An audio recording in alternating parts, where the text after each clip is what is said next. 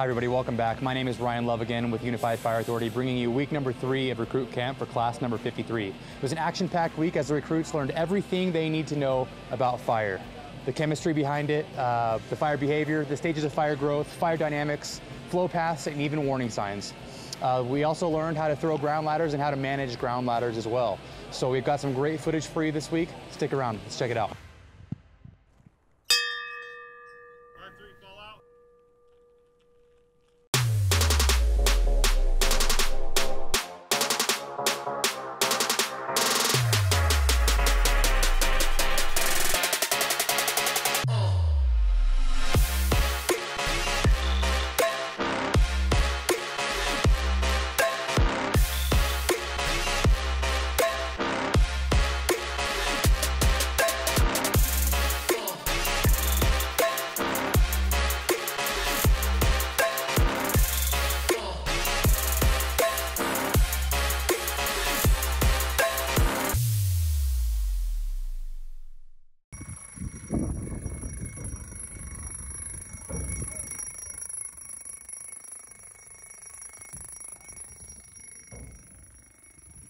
Hi, I'm Sean Garrett, uh, training specialist with Unified Fire. And uh, today we've got the flashover simulator right here. So all 32 recruits are going to get a chance to be able to sit inside our flashover simulator. Right now there's 11 of them in there.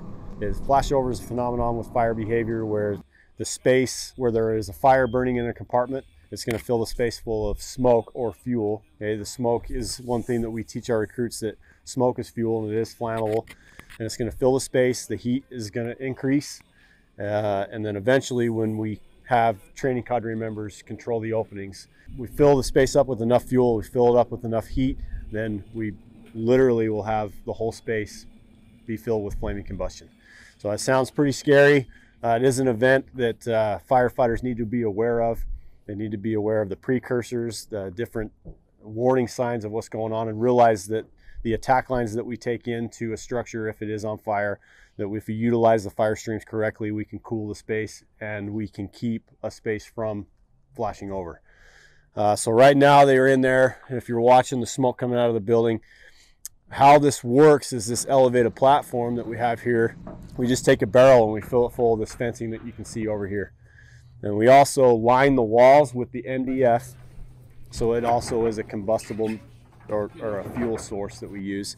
Light the barrel on fire, and we get everybody in and sit in this this lower platform, and there are benches on the inside of here where they're sitting.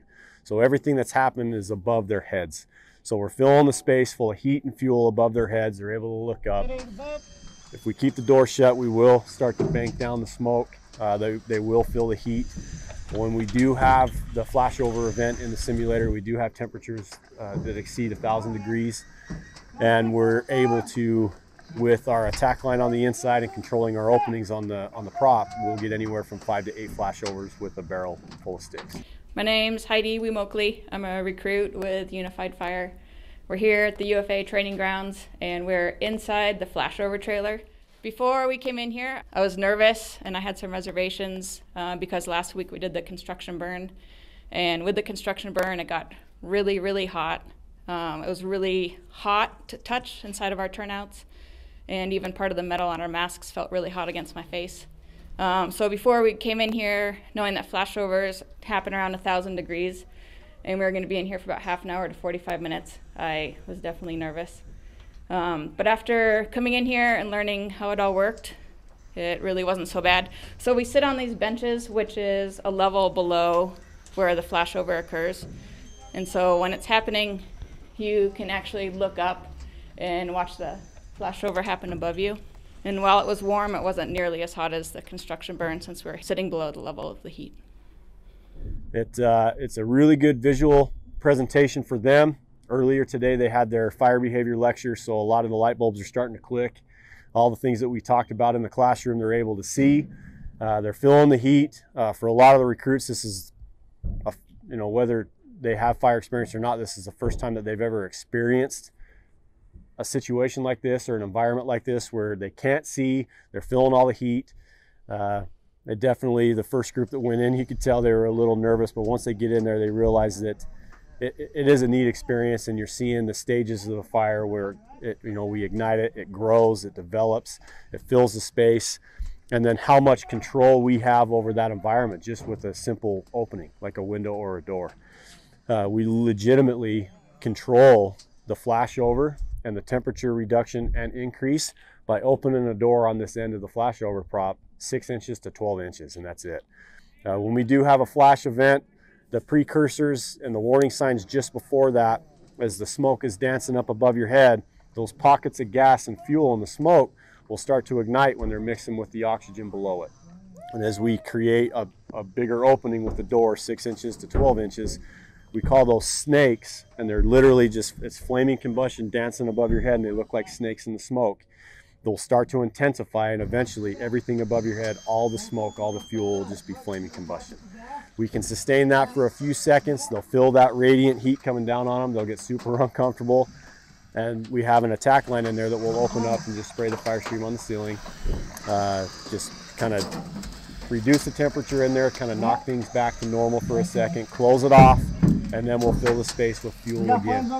The fuel being the smoke that's coming off of the barrel.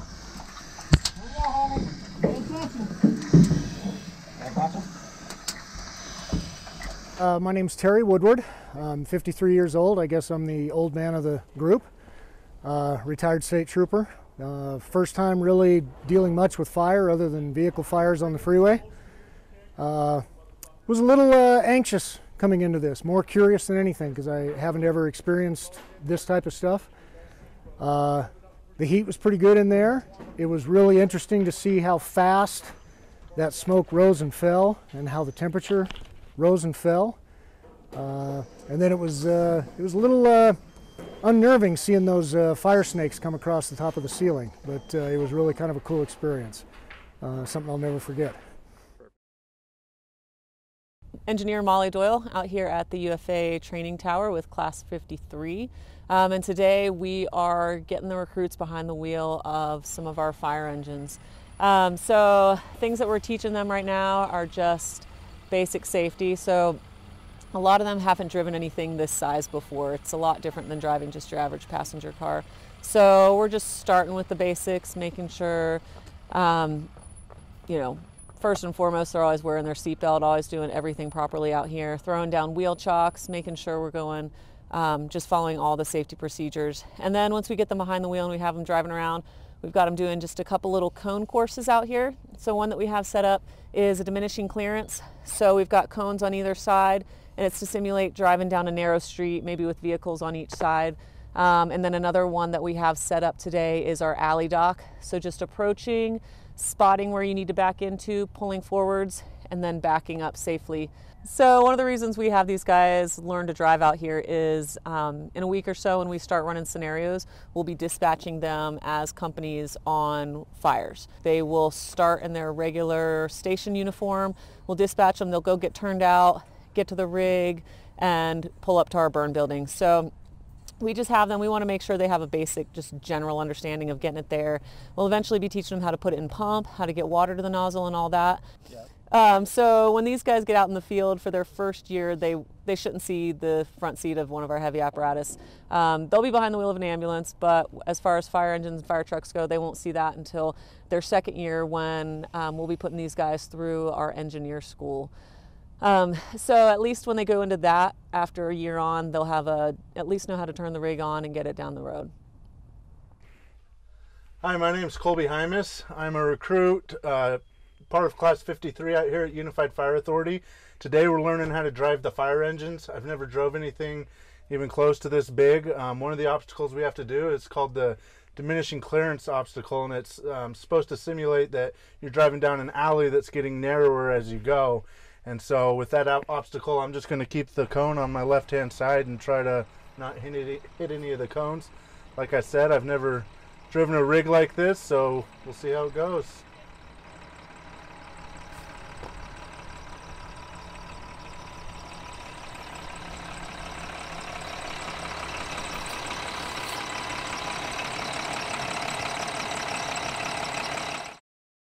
Just gonna let this rip then. Okay.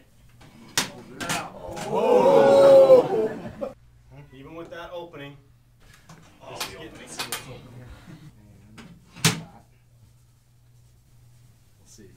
Sometimes I can get come down. Watch it build up. So you got this one. What we're gonna do is open this compartment. Now we're gonna, and the top one. Catches on fire. Top one, top one too. All right, so this is our new Flashpoint Fire Dynamics, uh, really cool prop that we use indoors. Uh, what this is basically simulating is just different compartments within a space, uh, very similar to the dollhouses that we build out of OSB and uh, plywood. But what we're able to do is in inside, we can fill these bins full of uh, clean burning fuel. Uh, we're using denatured alcohol, and the different compartments as we light them it'll heat up. We got the fireplace glass here on the front. Uh, it does get hot like a fireplace. And what we're simulating is just showing how openings within a structure, whether it be commercial building or a residence, openings really dramatically affect the fire behavior going on on the inside. So what we're showing the recruits and any other firefighter is how we can control the fire or flame spread from compartment to compartment by either controlling door shut or what happens when we open it and that's basically all we do. We light one, piloted ignition with a lighter, and then just through this space, heating up this space, heating up this space, it fills that space full of fuel. And then as we open things and close things, we basically can control the fire spread and flame spread throughout this prop. Watch out. Yep.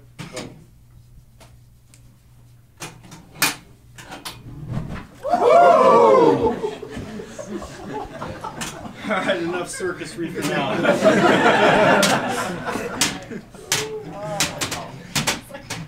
what do you guys think?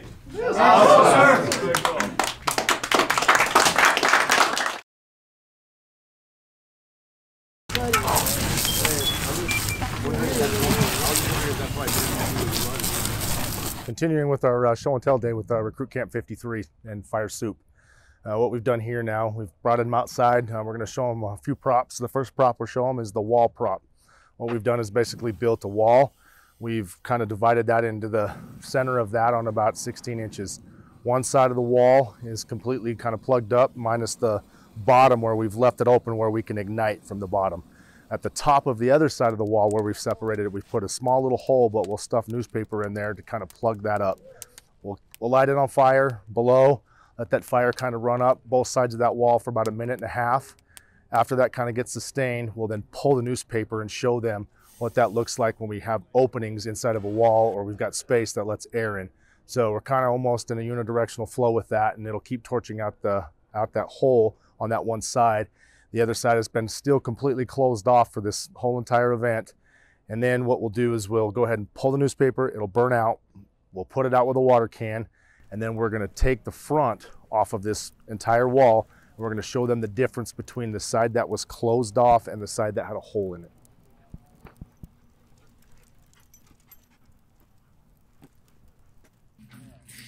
You guys ever seen videos of the?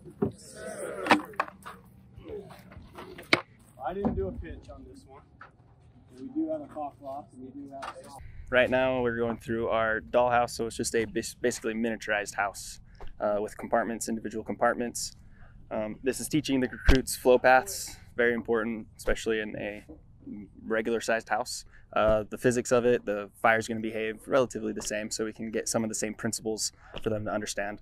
So, uh, by shutting the front door, we can kind of smother the fire a little bit and then opening up other exits, other windows kind of gets it going again. So it's important for that same reason, just so they can start understanding these things, start seeing the bigger picture. Just for a second. Hey, open number three. Leave it for a second. Open number two. Now we're making it travel. Close number two. Open the top.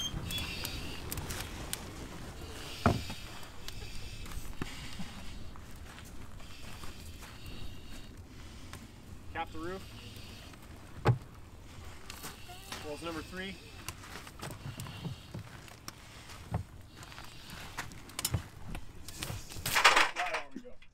The other side. Right? If, if you're putting weight on either side of it, come here.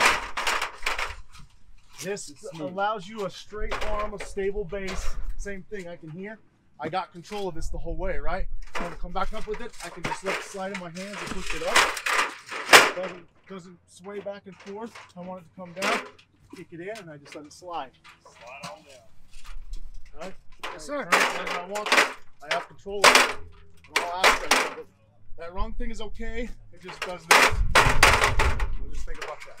Yes, sir. Hey guys, Robbie Anderson, training specialist. Uh, we're out here today working on ground ladders. Okay, this is the end of week three, so this is day four of week three. Um, working with the recruits this week on ground ladders. Um, we've got three different stations set up. They're they're three weeks deep into this recruit camp with vigorous PT every day, so fatigue's starting to set in. What we're working on today is um, just a basic introduction to ground ladders. We have three stations set up. One is ascending a ladder with tools and deploying a roof ladder. The other one is uh, ladder carries and throws. And then we're also working with ladders in the open as far as vertical raising, working on those balance points. Um, it's a really good introduction to these recruits. Um, like I said, being fatigued, they're getting used to the weight, um, the the mechanics of throwing ladders, how to use proper body mechanics when you are fatigued to properly deploy ladders. Um, it's been good for them, but like I said, this is just the starting point, basic introduction. This is going to build and build and build. We're in, we're in the crawl, walk, run phase of this. Um, just an introduction, throwing ladders and getting used to having them on their shoulders. All right, and that's a wrap for week three out here at Magna, Utah with recruit class number 53. Thanks so much for watching along this far. If you have any questions regarding this recruit camp process, be sure to leave a comment below and we'll get back to you as soon as we can. And we'll see you next week.